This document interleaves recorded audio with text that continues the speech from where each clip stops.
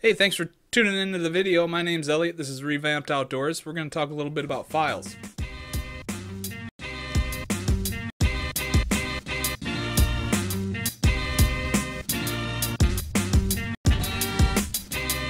All right, so I started this adventure, I'd say, hmm, a couple months ago. I like to frequent the uh, estate auctions, find some really good deals on some really cool old hardware. A lot of these times at these auctions, these guys will, you know, stand up on the block. It's usually at somebody's estate. Um, they're kind of just on trailers.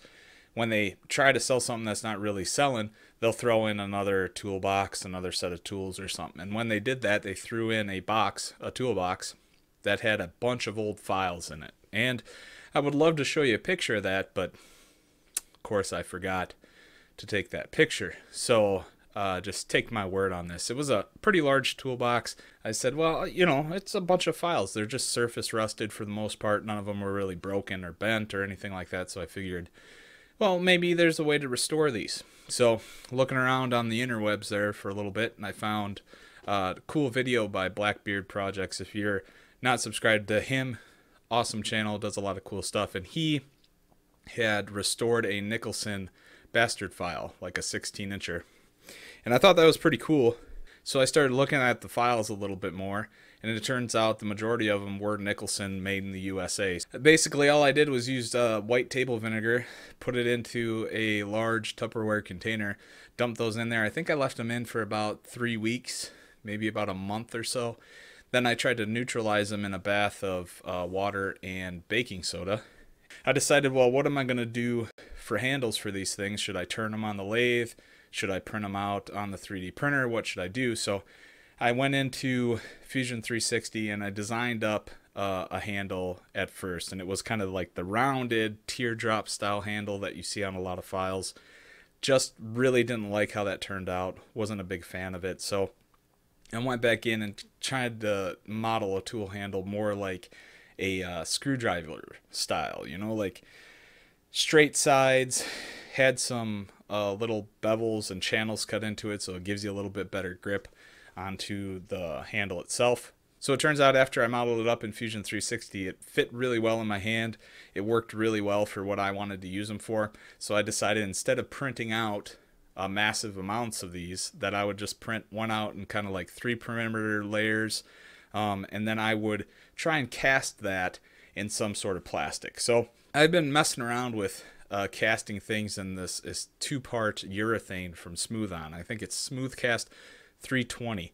I've been using that now for a couple years. Uh, actually, the plastic that I had from Smooth On, the Smoothcast 320 that I used in this video, was actually purchased, I think, about six years ago. So the shelf life on it is pretty outstanding. It's been through a move across the country. It's been all sorts of stuff, and it's still producing uh, viable parts when I use it. So what I did was I took that 3D printed handle, and then I took that and I casted it in a silicone, uh, Mold Max 60 silicone from Smooth On as well. I casted that in a one-part mold.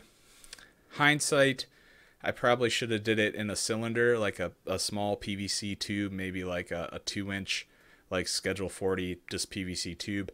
Would have worked a whole lot better um, for the mold material, and I would have saved a whole lot of mold material. But I made, you know, it is what it is. I made the mold box out of acrylic and uh, just hot glued that all up together.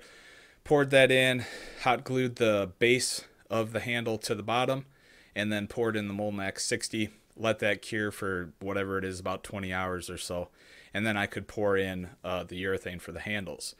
So the Smoothcast 320 is a, a, volumetric measure one by one, so one part of part A, one part of part B, and uh, it it's a very fast set. I bought this stuff to be very very quick. So what you do is just mix it in. I add in my own uh, smooth on pigment colors. You can get a whole series of colors for like under I think under 15 bucks. It might be up to like $20 now, but it's worth it. Use a small drop of that color additive into the urethane and it turns it whatever color you want. So I messed around with that a little bit. I got about 10 handles off of that and that was pretty much all I wanted to do was to just make a, a set of files that I actually would use in the shop. I drilled out the urethane handles on the drill press.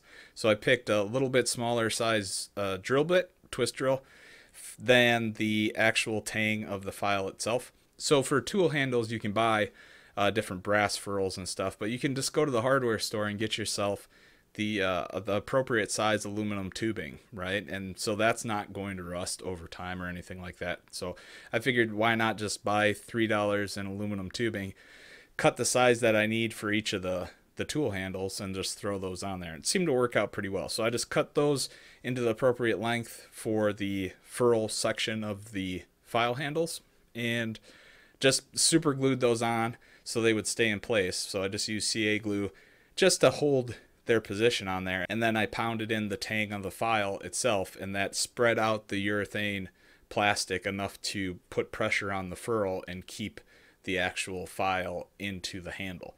And it seemed to work out pretty well. They're in there really snug. Once I had all these file handles completed, I decided I needed something to where I could actually hang these files up in my workshop. And I have another video up here somewhere that where I designed a French cleat system. So I just cut out some plywood strips at 45 degree angles and I have those mounted above my workbench in the garage, aka workshop because I have an attached garage, so I use that as a workshop. Because why would you park a car in a garage, right? so basically what I did is I just used my models that I already had in Tinkercad set up, modified it to work a little bit with these files, and it ends up holding about eight files uh, per section of French cleat. I think it's around 280 millimeters or so of your cleat that you use, and you can hang these up in the shop. Seems to work well. They rest in there really nicely because they are molded to, uh, they print to the actual parabolic shape of the bottom of the file, so they rest in there and don't, they don't come out. So I'm really happy with how it turned out. There's some things, you know, naturally I would have I would have changed with this. I would have definitely used a better neutralizing agent on the files because I think they are still there is some still residual vinegar left on there. They are kind of getting eaten up a little bit quicker than I thought they would. Also, when I took them out, I used a, a Rem oil.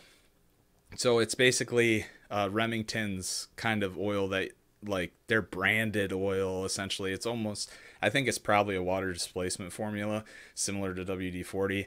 I don't think it's an actual like lubricating agent. So I think what I would use the, the next time is maybe some used motor oil, but you know, or something a little bit thicker, maybe some three in one oil, something that might penetrate um, some of those porous surfaces a little bit and uh, kind of protect it from rusting in the future. Uh, it's a really great way to kind of restore old files, especially when you get them at a place like an auction or a garage sale or something where the teeth are still good, a little vinegar soaked bath, and they're they're cutting like they're brand new. If you have any questions, always put them down in the comments below. If you'd like the STL files, let me know. I will post those up for not only the French cleat system as well as the grip. Uh, for the most part, I'll probably I'll probably just do that as I post this video. I'll put them out on Thingiverse. And there'll be a link down in the description if you want them. But either way, leave a comment. Let me know you want them because nobody ever reads the descriptions anyway.